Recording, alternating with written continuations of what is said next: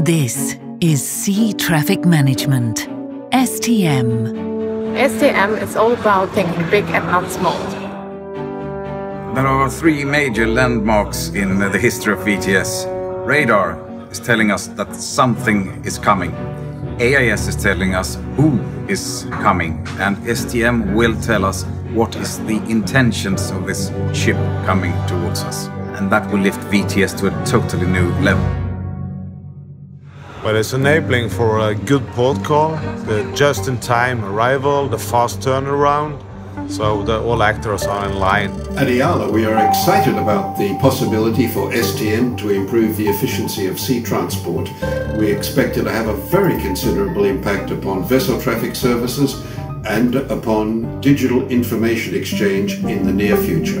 What makes sea traffic management a paradigm shift is the underlying interoperability based on global standards for ships and port actors, global reliable infrastructure, software and services using this global ecosystem. We have helped creating the foundation of the maritime service infrastructure of the future. Three of the larger VTS manufacturers have already built STM support in their systems.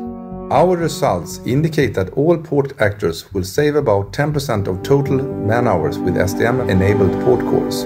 We now have four active manufacturers with a large market share that has developed STM functionality as part of their bridge systems, and that they will continue to do in the future products and solutions.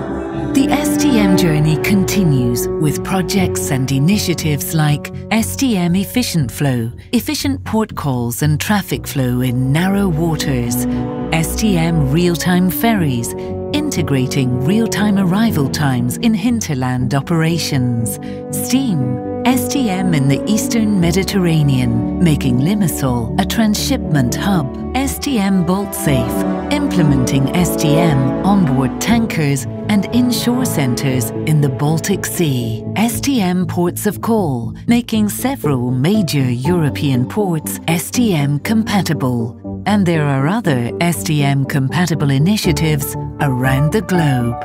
Let's make STM happen now. For safety, efficiency, Clean situation awareness. Collaboration, Success. cross-platform, cybersecurity, real-time information, Trust. Standards. Splendid. disruptive, Simulators. Exciting. Ships. ports, Terminals. Opportunities. Sea. traffic. Management. Finally, finally. all aboard. This is not the end of STM. It is not even the beginning of the end. But it might be the end of the beginning.